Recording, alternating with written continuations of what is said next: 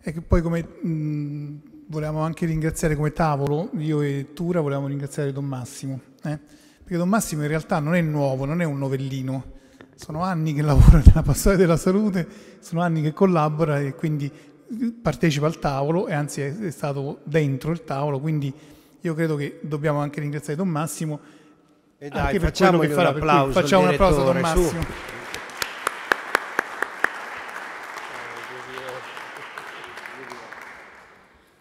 Allora, non, non, è umanamente impossibile dire qualcosa ora al fine di questa giornata senza ripetersi, perché abbiamo detto, credo, pressoché tutto. Quindi non tenterò nemmeno di fare sintesi per la vostra gioia, né tantomeno cercherò di tirar fuori qualcosa di nuovo. Posso però dire la mia esperienza in un secondo, questo sì ve lo posso dire, perché eh, pensavo quando sarò grande, quando avrò tempo, scriverò un libro dal titolo Un prete in SPDC perché quando nell'Università di Tor Vergata abbiamo aperto il servizio di psichiatria, diagnosi e cura, il professor Siracusano molto carinamente mi ha trascinato dentro fin dall'inizio. Francamente non capivo esattamente quale fosse il ruolo del cappellano, l'ho capito strada facendo e fra un attimo ve lo dico. Le parole che portiamo a casa in estrema sintesi sicuramente sono il verbo accogliere, l'abbiamo sentito ripetere più di una volta che non significa fare entrare in casa, significa permettere all'altro di entrare nella mia vita e lasciarmi coinvolgere dall'altro. Di fronte alla malattia psichiatrica la salute mentale è un grosso problema perché io devo superare me stesso, le mie paure, le mie difficoltà e andare ad abbracciare l'altro così com'è, con tutti i rischi che questo comporta e non è facile, forse né tantomeno immediato, perché ogni volta che io permetto a qualcuno di entrare nella mia casa, nella mia vita, devo fare un po' di spazio, un po' meno di me per lasciare spazio a un po' di te. E quando una persona non riesco a controllarla, a gestirla, a capirla, perché è bizzarra, come diceva Tonino, è leggermente diversa, questo mi preoccupa ma se lo farete, se sarete capaci di fare, lasciare questo spazio, potreste anche venire travolti da qualche bellissima sorpresa. Questa persona potrebbe illuminare la vostra giornata per qualsiasi motivo e potreste anche avere l'occasione di imparare qualcosa e di farvi ulteriormente coinvolgere. Un altro termine che è stato ripetuto n volte durante la giornata è lo sguardo.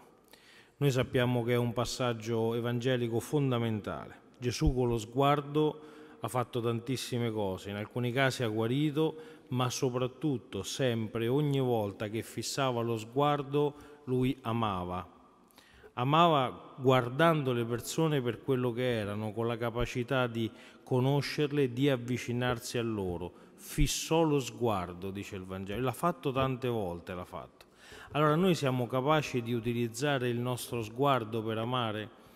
Eh, il nostro ufficio il prossimo anno ci penserà molto su questa cosa, su una grande differenza che è il guardare e il vedere. Guardiamo tante cose, ne vediamo molte poche. Abbiamo cominciato la nostra riflessione partendo dal presupposto che spesso vediamo la malattia, guardiamo la malattia ma non vediamo la persona allora dobbiamo educare il nostro sguardo ad un passo ulteriore, ad essere capace di vedere quello che anche che immediatamente non appare. È stato parlato di un ruolo profetico della Chiesa, è stato detto, l'ha gridato Don Carmine poco fa quando ha parlato di una Chiesa afona. La Chiesa non è afona, io credo, Don Carmine lo dice con grande passione, io lo capisco perché la condivido la sua passione, forse non grida abbastanza, non la dice abbastanza a voce alta.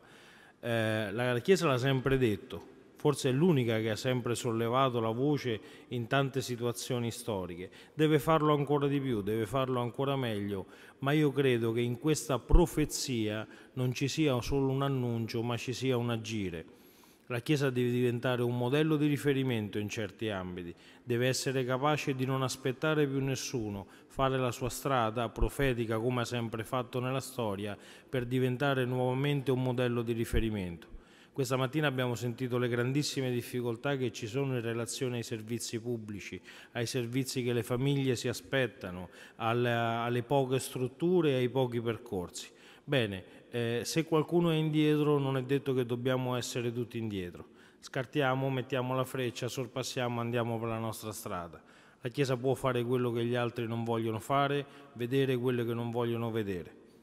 Sicuramente diventeremo un po' fastidiosi, un po' problematici, ma anche questo appartiene alla storia della Chiesa, alla sua missione e certo non sarà la prima volta che qualcuno dirà qualcosa di strano contro di noi. Però intanto facciamolo oltre che dirlo, facciamolo con le nostre strutture, facciamolo con le nostre capacità di vedere con la nostra capacità anche di agire chi sa leggere la storia, ma chi sa anche da vedere la situazione attuale in Italia, facilmente si renderà conto che troppo spesso la Chiesa ha una funzione vicaria nei confronti dello Stato.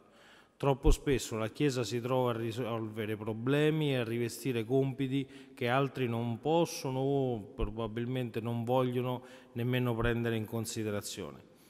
Da una parte non credo sia giusto perché la Chiesa deve svolgere il suo compito, deve svolgere i suoi ruoli che non sono certo funzioni vicarie. Dall'altra al tempo stesso però di fronte all'uomo che soffre, di fronte alla persona in difficoltà, di fronte alla fragilità, mai la Chiesa volgerà lo sguardo da un'altra parte, sarà la prima a fermarsi, costi quel che costi, per accogliere quella persona comunque, sempre, dovunque e in ogni caso.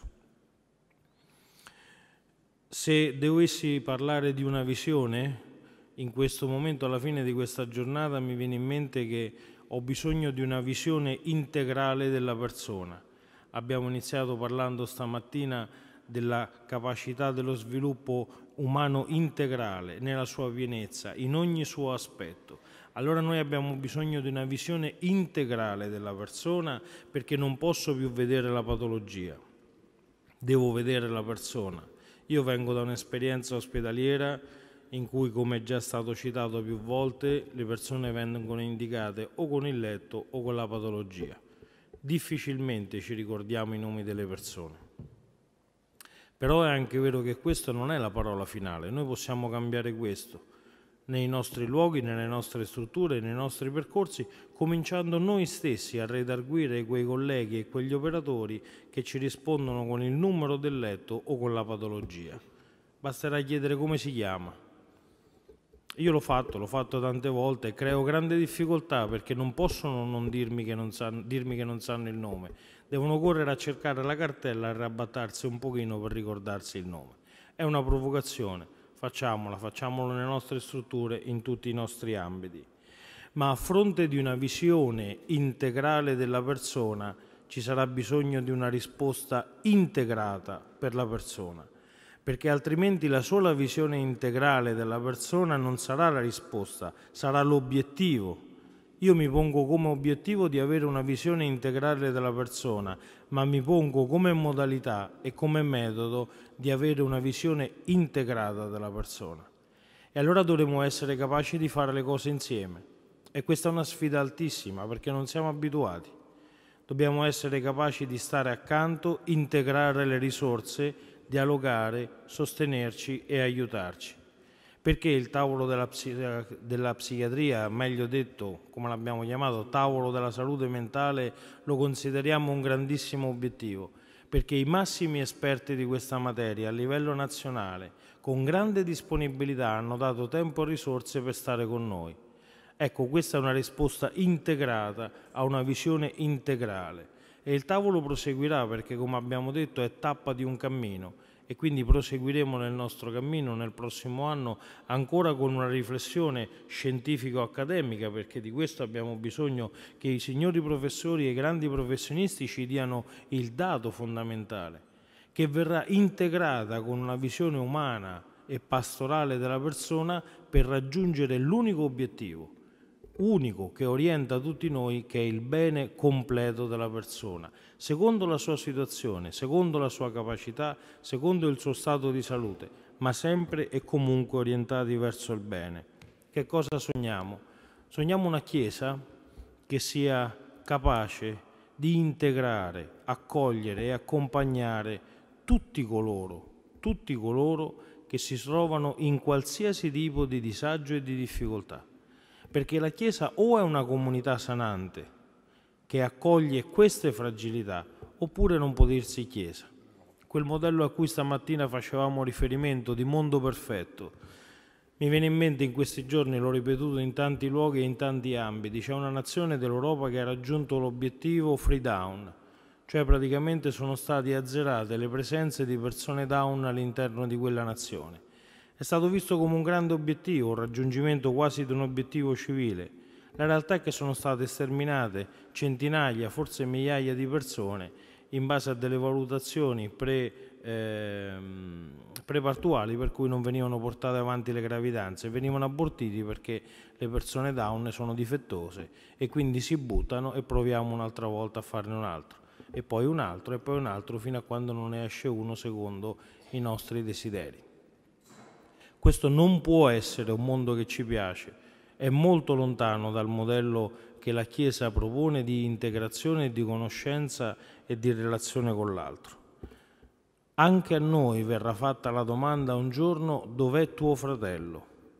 E noi non possiamo rispondere l'ho buttato, l'ho nascosto, mi vergognavo. non possiamo in alcun modo non rispondere a questa domanda fondamentale che quel giorno ci verrà posta. Noi dovremo rispondere questo fratello è qui accanto a me. Quando saremo capaci di dare questa risposta, allora significa che avremo raggiunto un livello di comunione tra di noi degno di essere e di chiamarsi Chiesa. Voglio concludere semplicemente con una comunicazione che mi è arrivata qualche tempo fa di una lettera di encomio che è stata eh, inviata a una direzione generale di un policlinico dove eh, venivano lodati i medici eh, per il servizio svolto e veniva lodato anche il cappellano. Questa famiglia che aveva una persona con una malattia psichiatrica molto problematica è stata accolta in questa struttura, è stata accompagnata, curata e la famiglia ha deciso di mettere per iscritto il ringraziamento. Ringrazia i professori, la costante attività di controllo, ammirevoli capacità professionali, eh, tutta la disponibilità e poi citano il cappellano e questo credo possa essere un po' come dire per noi dal punto di vista pastorale un punto di riferimento. Ringraziano il cappellano per tre cose. La sua lodevole assistenza morale, e forse questo siamo capaci di farlo, possiamo farlo. La seconda per il rispetto, c'è scritto. E questo credo sia il secondo obiettivo che dobbiamo avere nei confronti delle persone che incontriamo e che a noi vengono affidate. E terzo, per l'amore trasmesso. Ecco, se dobbiamo darci delle indicazioni, delle prospettive, io credo che questo possa essere il taglio con il quale affronteremo il nostro lavoro, creeremo dei percorsi di formazione, di integrazione e cercheremo di essere capaci di trasmettere questa capacità di amare. Grazie.